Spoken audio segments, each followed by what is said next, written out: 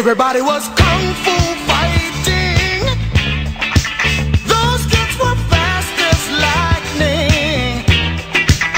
In fact, it was a little bit frightening. But they fought with expert timing. There were funky Chinamen from funky Chinatown. They were chopping them up. They were chopping them down. It's an ancient Chinese art, and everybody knew their